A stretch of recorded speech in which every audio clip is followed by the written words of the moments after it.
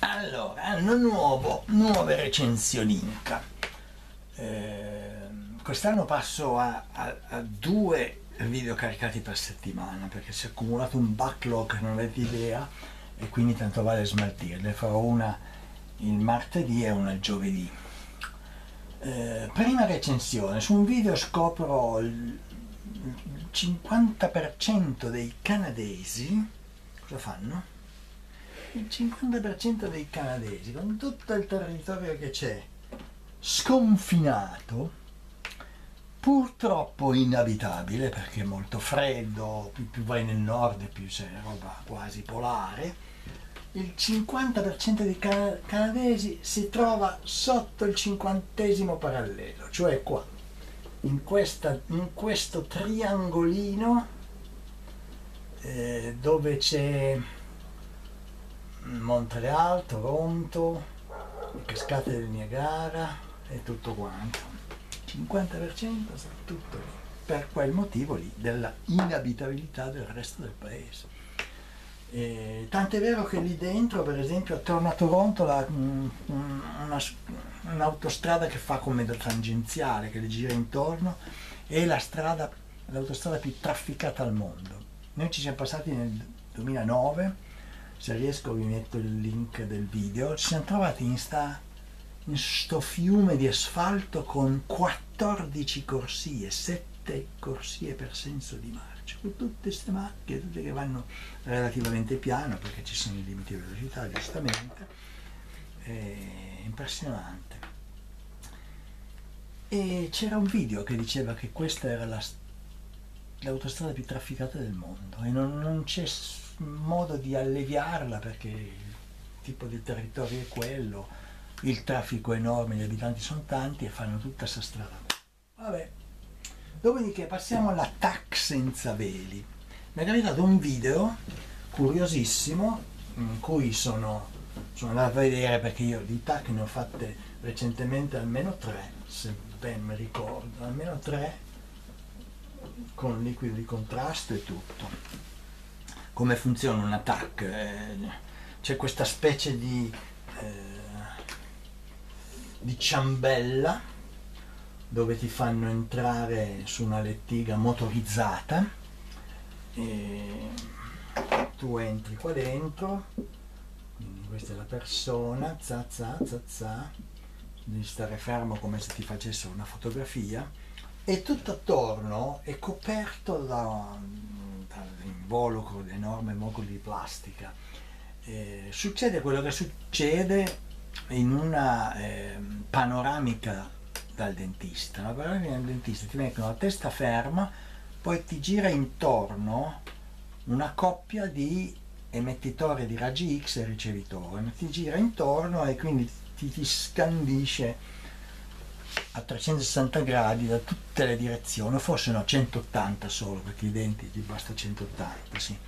180 gradi e boom. L'attacco fa lo stesso, diciamo così, lo stesso fino a un certo punto, nel senso che c'è eh, un, un, emettitore di raggi X e un ricevitore dall'altra parte e questi girano, no? E fin qui va bene. Infatti io eh, quando sono stato dentro queste farnese qua capivo che c'era questa roba che girava forte, sembrava che girasse forte, un rumore. Il problema è che eh, questa scansione, la, se la vuoi fare precisa, tipo avere un'immagine ogni millimetro addirittura, mentre il paziente scorre, per evitare un radiamento eccessivo, perché l'irradiamento, la dose assorbita è proporzionale al tempo in cui sei esposto. Tra l'altro, ecco, piccola parentesi, eh, sono andato a vedere su Wiki, un attack ti costa come assorbimento di radiazione tutto quello che prenderesti in un anno dalla radiazione naturale. Quindi l'attack ti fa un anno di radiazione naturale, se ne fai troppe è come se fossi vissuto di più sotto i raggi cosmici. Comunque, eh, per evitare di metterci tanto, fa giri, fa un millimetro, in realtà vai abbastanza veloce, vai a diversi centimetri al secondo. Cosa fa per fare comunque il millimetro? Gira in maniera forsennata, ma la velocità, ecco, l'attacco senza veli era perché il video faceva vedere, senza la persona perché era un test, faceva vedere il meccanismo eh, senza il coperchio, quindi c'è il meccanismo, eh, gli togli il coperchio, vedi eh, tutte queste cose qua, sono più di una, eh, che girano forsennatamente, ma alla fine, cioè alla fine, quando ha preso velocità, questo girare forsennatamente è, peggio che una centrifuga della lavatrice, una cosa impressionante. Madonna, per quello che lo nascondono, perché se quello lì dentro vedesse tutta sta roba si spaventerebbe, un conto sentire i rumori, altro conto vedere sta roba che gira in maniera pazzesca. Tra l'altro si spera che, che hanno calcolato bene le dimensioni di tutta l'attrezzatura metallica che tiene sta roba, perché se dovesse staccarsi qualcosa per forza centrifuga, ma fa, fa un diavolo di, di danni, non al paziente che è dentro, ma all'esterno. Comunque, la curva della, dell'anatroccolo. Che cos'è la curva dell'anatroccolo? Non sapevo, esiste un termine tecnico con cui si identifica duck curve, la, la curva che dà l'assorbimento di energia elettrica di, di, di, una, di una città, di un quartiere, eccetera, nelle ore della giornata eh, cosa che abbiamo già visto anche in altri video, c'è quel problema per cui eh, cosa succede? Che eh, il consumo giornaliero fa qualcosa del genere, eh, la notte scende, poi sale, eh, quindi ecco, qui ci metti, mettiamo mezzanotte qua, le ore 20, 24 le ore 24 qua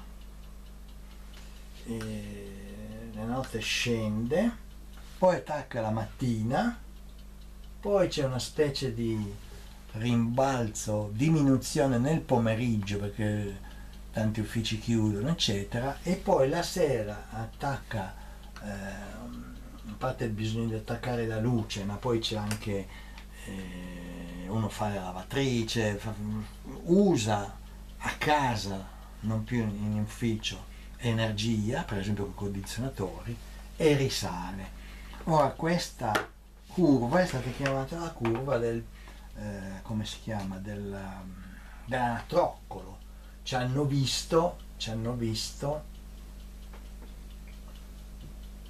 un anatroccolo che fa wack wack e, ehm, e poi il video, a parte la curiosità, appunto la recensione l'ho fatta per la curiosità di questa duck curve che non sapevo che esistesse, ma il video ovviamente parlava di questo problema qua, che c'è un consumo molto disuniforme durante la giornata, per cui con le rinnovabili, ammesso di avere sempre vento, sempre il sole, eccetera, eh, questi alti e bassi bisogna per forza gestirli eh, con immagazzinamento di energia elettrica fatto con batterie estensioni quanto una fabbrica in certi posti l'hanno fatte o con eh, recupero e accumulo e recupero di energia gravitazionale, potenziale gravitazionale eh, di bacini idroelettrici, cioè un bacino idroelettrico che non serve più tanto per produrre energia elettrica,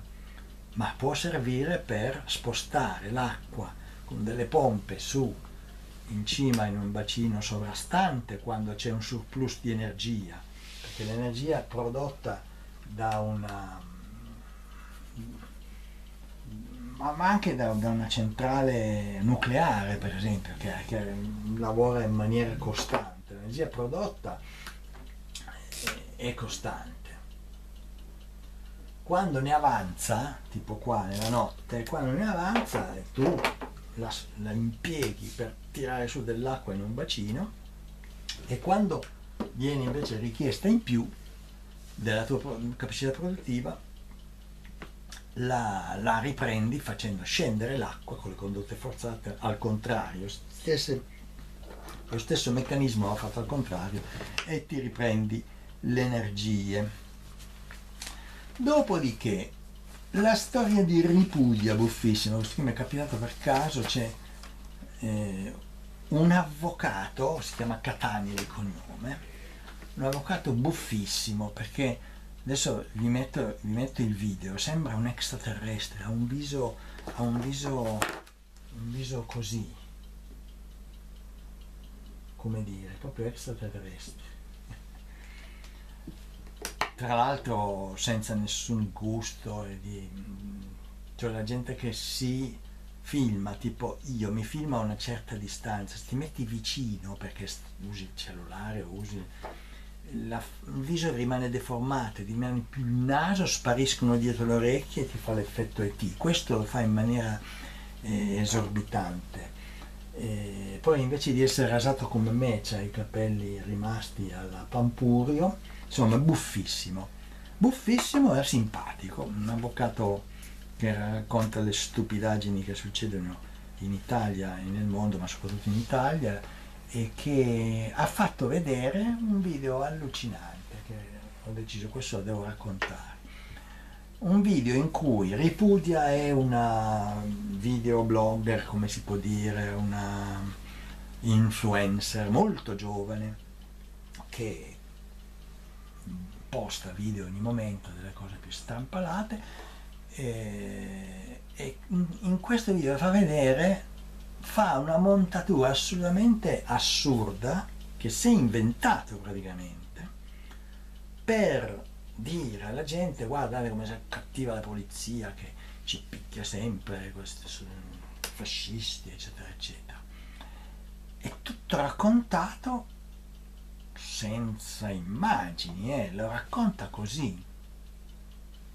Non so se lei era presente, dice che lei era presente o, o l'ha sentito raccontare.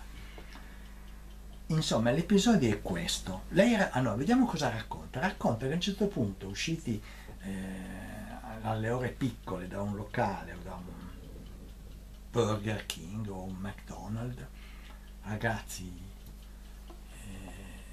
tra cui uno di colore, insomma fanno un po' di casino e questo ragazzo di colore trova un, una bicicletta lì ferma e suona il campanello. Zin, zin, zin, zin, zin.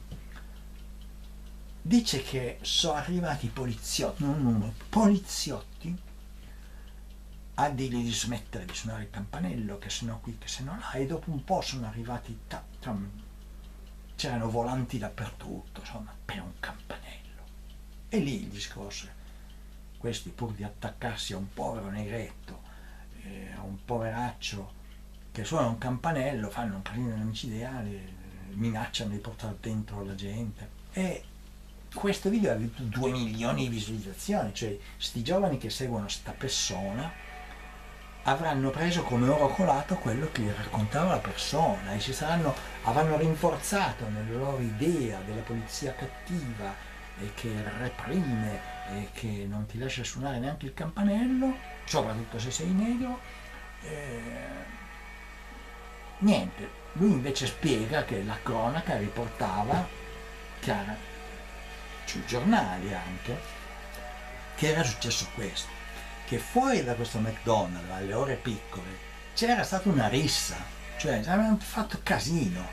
Allora la gente svegliata nei, nei palazzi vicini ha chiamato la polizia e quelli sì sono arrivati poi con i rinforzi, ma perché c'erano decine di persone che facevano casino, che si menavano fra di loro, cioè una roba un po' diversa dal poveretto che per drin drin col campanello arriva il poliziotto, anzi due, anzi tutto il commissariato a, a, dirgli di smettere, no? è completamente diverso. Eh, io ho scritto un commento che però l'avvocato mi sa che non ho neanche visto, dicendo ma in questo caso qua lo Stato non potrebbe fare causa a questa persona perché ha diffamato lo Stato, ha diffamato il carabiniere, la polizia su cose non, non vere, non so. Uno può dire un, qualsiasi cosa così senza che ti dicano beh. Stranissimo. E devo dire che questo l'ho visto riportato in questo video di sta avvocato simpatico, e, ma non l'ho mai visto sui giornali, eh. roba, quindi ci saranno no, 2 milioni di visualizzazioni, vuol dire che ci sono centinaia di migliaia di ragazzi storditi che avranno creduto a questa cosa qua, si sono fatti proprio l'idea che è vero, la polizia sono cattivi e, e non ti lasciano suonare i campanelli. E niente sui giornali né sulla televisione mi sembra che sia stato eh, diciamo tirato fuori a titolo di smentita. Cioè guardate stavo, stavo qua non, non, non esiste mica. Ok.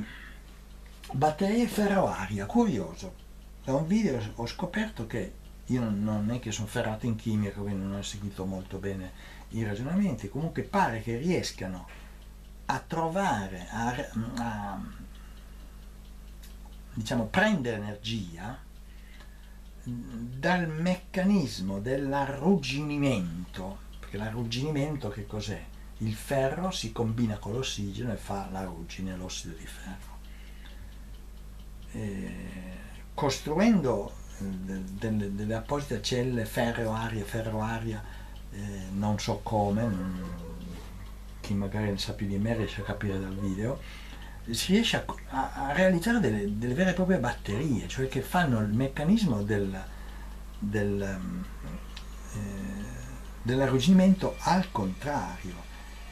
E, a questo punto invece che catturando ossigeno, producendo ossigeno, eh, hanno ancora il problema, dice che sono attrezzi con la superficie ferro, vabbè anche il piombo, le batterie pesavano tanto, comunque pesano troppo queste cose, perché probabilmente ce ne vuole anche tanto, sono ancora grandi e pesanti, però pare che abbiano un costo 13 volte inferiore a quelle a ioni di litio che ti costano 80 dollari al kilowattora prodotto, mentre queste qua fanno 6 dollari, perché ovviamente il litio è raro, costosissimo, il ferro ce n'è abbastanza, anche se adesso non ce n'è più tantissimo. Ultima storia, poi chiudo le catapulte elettromagnetiche, mi era sfuggito.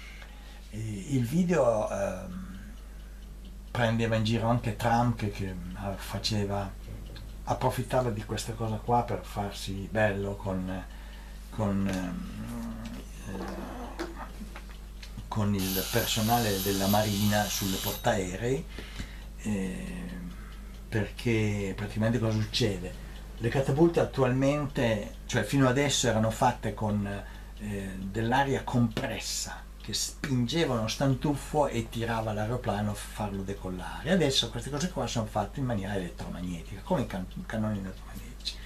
E le vogliono man mano sostituire perché sono più efficaci. Per esempio, ehm, a parte i costi, eccetera, sono più controllabili nel loro movimento. Cioè, il, il pistone a vapore non è tanto, cioè fa il suo tragitto magari in maniera non ideale, mentre invece l'elettromagnetico puoi tu controllare le velocità ad ogni istante che ha, eh, diminuendo magari le, le, le, accelerazioni che subisce il pilota.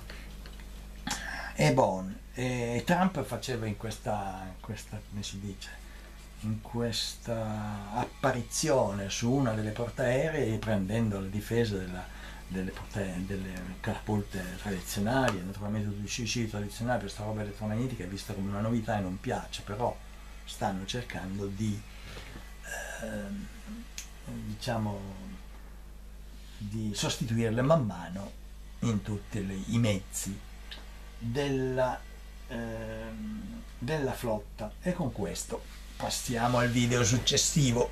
Vai